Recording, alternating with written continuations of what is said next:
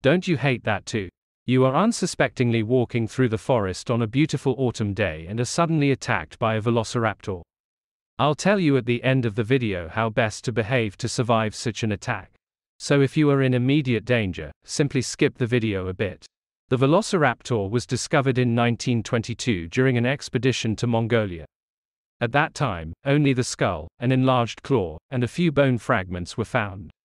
The name, Velociraptor, comes from ancient Greek and means fast predator.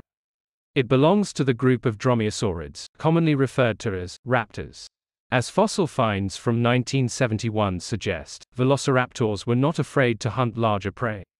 The fossils of a velociraptor and a protoceratops captured a fight scene between the two animals for eternity. The animals may have been buried by sand during a fight or drowned in water. Another theory is that the velociraptor killed the protoceratops, was crushed by its corpse, and was then covered by sand or water.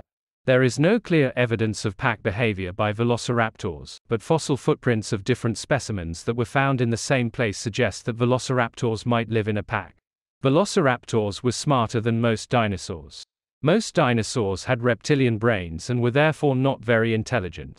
The Stegosaurus is considered to be the dinosaur with the smallest brain. It was about the size of a walnut. So tiny considering it was an 8 to 9 meters, or 29.5 feet, long animal. Velociraptor brains were more evolved and more akin to birds than reptiles, suggesting that velociraptors were indeed very intelligent. They probably also had very good eyesight, similar to today's birds of prey. Raptors are believed to have been warm blooded, meaning that, unlike most other reptiles, their core body temperature was generated through metabolism, just like mammals and birds. Raptors are rarely portrayed realistically in the media, which is understandable because, let's face it, old school naked velociraptors look pretty damn cool. With that being said, velociraptors were feathered. They weren't as large as is commonly believed, but about knee deep in a full grown man. Contrary to what is claimed in movies, they did not use their sickle claws to rip open the belly of their prey, but only to hold on to larger prey. In experiments with a pig carcass, paleontologists found that while raptors' sickle claws could puncture and scratch, they couldn't rip open an entire abdomen. Nobody knows what a velociraptor really looks like. Maybe it was colorful like a parrot, or maybe it was gray like a parrot. But most likely it was monochromatic. How do I know? Because the color of the plumage depends on the environment and raptors could not fly. Most ground birds, as well as most birds of prey, are solid and dark, more gray or brown because such plumage serves as better camouflage. This is what a forest looked like 150 million years ago. Sorry, wrong picture.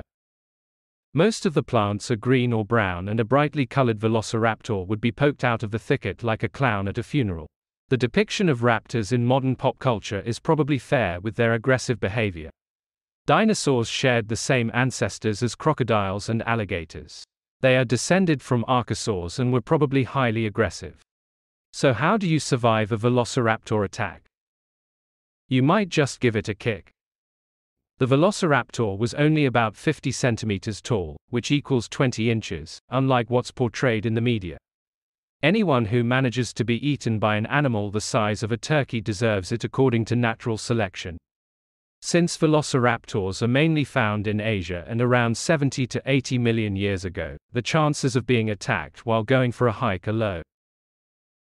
If you or your loved ones are into dinosaurs, visit my dinosaur shop at iheartdinosaurs.com.